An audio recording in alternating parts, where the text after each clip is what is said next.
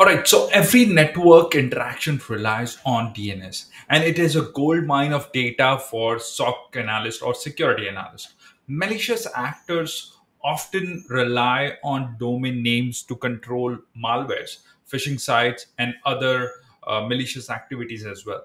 By monitoring the DNS traffic, we can detect anomalies and uncover these threats before they can cause any significant damage on the network when it comes to DNS logs, the, the Splunk can ingest and parse the massive volume of, volume of data, helping the security teams to identify and respond to the threats immediately. All right. And Splunk makes it easier to detect the suspicious DNS query and uh, help you to spot malicious DNS traffic and also automate the response to any kind of a potential threats.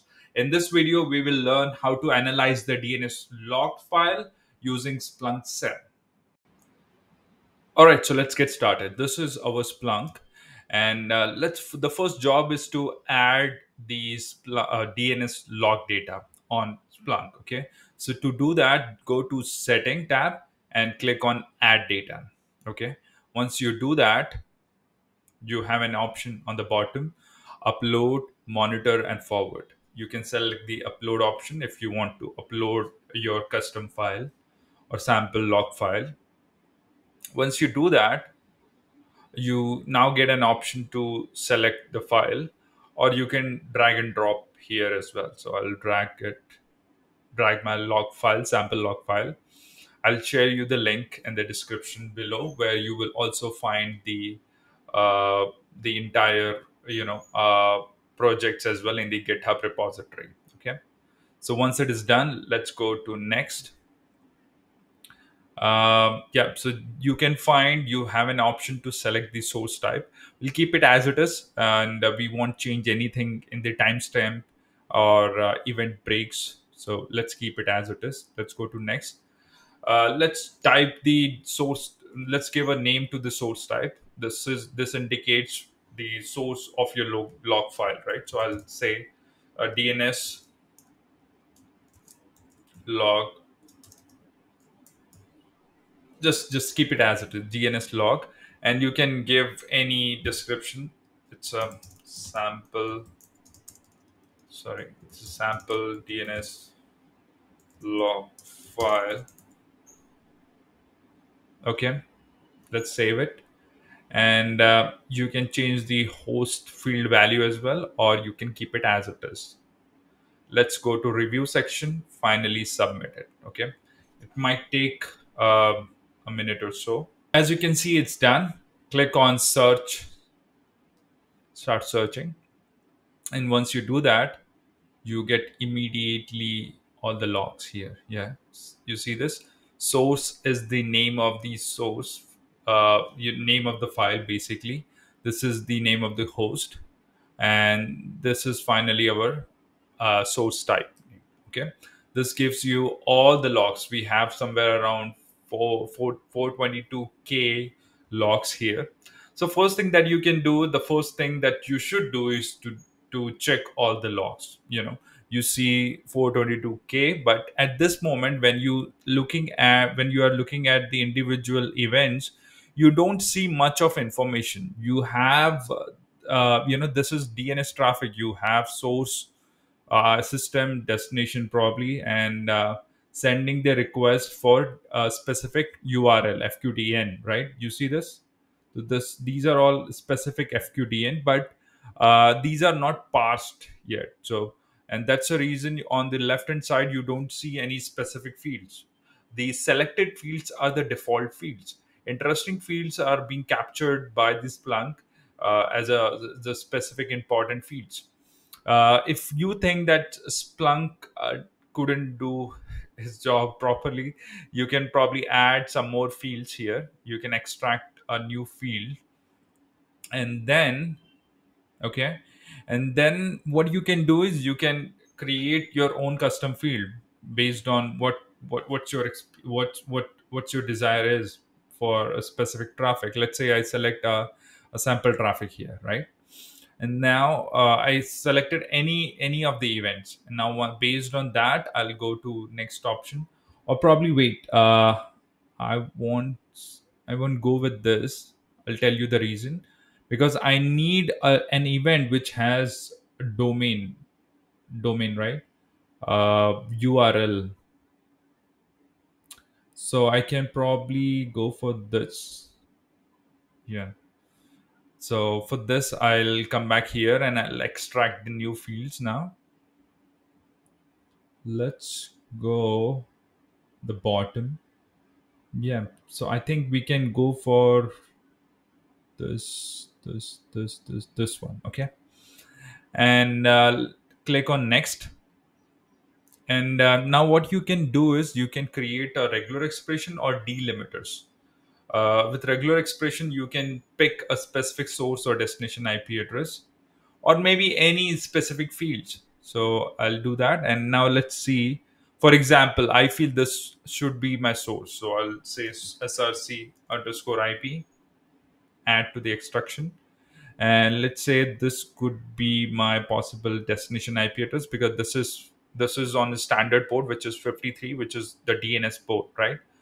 On udp uh, uh, so i'll do the dst underscore ip destination ip address.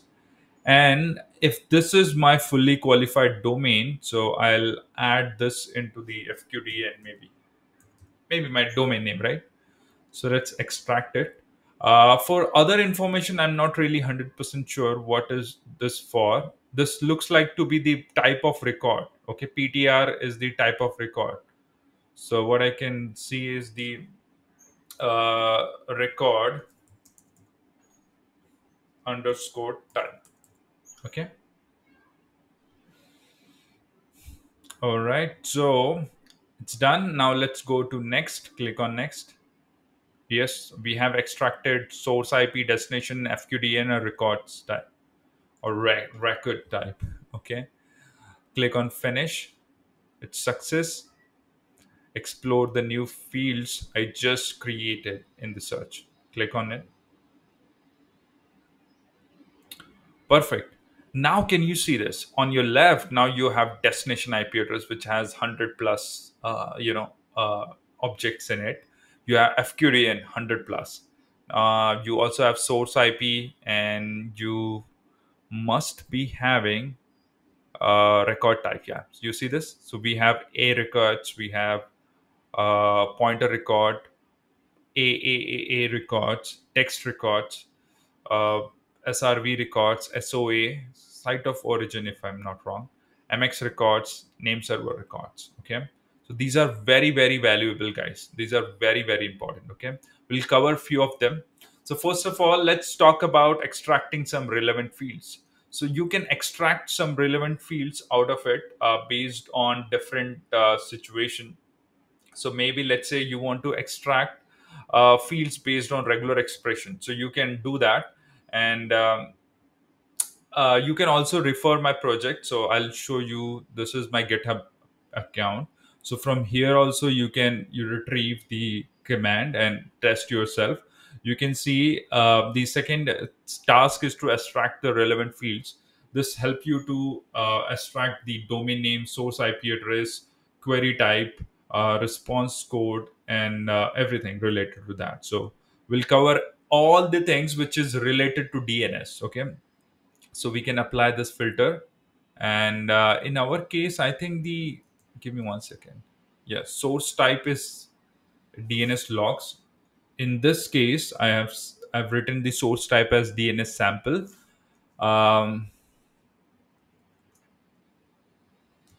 let's keep it as it is. The source type in our case is the dns log and let's remove all the other fields here. And if you do that you should get all the fields related to the dns why this is important because uh, remember this uh, you might be having a sample traffic which uh, where the dns is just part of that entire log file. So if you want to retrieve all the logs that belongs to dns or specific fields of dns maybe D, that has the uh, in the raw data where you have domain you have query you have response you have port as 53 this will this will carry all those information. And you can see that these are the fqdn that passes this regular expression okay? So this is how you can be very specific about certain domain query response port 53 and this is like pipe this is like the uh, a different condition you know? So this is all about fetching the dns related traffic. Now let's go to the next parameter next task which is to identify any anomalous traffic to find the anomalous traffic let's uh, understand if you have a lot of dns traffic and you want to know uh, which the which domain uh, which domain is receiving more requests than any other. Okay? So this happen in case of ransomware kind of attack where um, the more and more requests goes to the uh, you know command and control servers. So this can be really helpful and help you to identify any anomalous behavior okay? So what i can do is i can run the stats command and i can say i want to capture all the domain based on its uh, fqdn the domain name. Let's do that. And uh, you can see this domain has got 10000 uh, requests okay? Other than that this domain dot something dot facebook has got 1209 requests so this can be really helpful for us to diagnose if it is really a genuine url or not okay? You can even do that uh, by applying uh, top command as well. So i can run top and uh, fqdn and uh, this will show you the request which comes on most num- uh, you know uh, which has the more number of requests. So that will come on to the top okay you can also create table as well so this will give you the uh, table of specific domain let's say fqdn then src ip so i want to create a table of all the relevant and interesting information. So I want to have a table where I have FQDN, source IP, destination IP as well. Okay. Perfect. Can you see this? Google um, for for to reach Google, these are the system which uh, who send more most number of requests uh, to this specific IP address. So this might be the name server in our case. This looks like to be a broadcast, but um, we'll have to figure it out maybe this is not a, a, destination IP address. We we just have taken for example. That's okay. Okay. Now let's try and investigate this suspicious domain in our network, or you can follow the projects as well to understand in more deeper. So let's say uh, based on your analysis, you have encountered a domain which looks suspicious. For example, in our case, uh, FQDN, and um, uh, there are multiple websites. Let's say this one. Okay, this looks like to be suspicious. So I can r- go here and I can find which are the systems who send the request to this domain. So I can apply a table, and um, then based on it, I can then say table src underscore IP. You see this? these are the all the IP addresses which sent the request to it. So there are 7156 systems. So uh, let's remove some duplicate entries. So we can say dedup for src IP.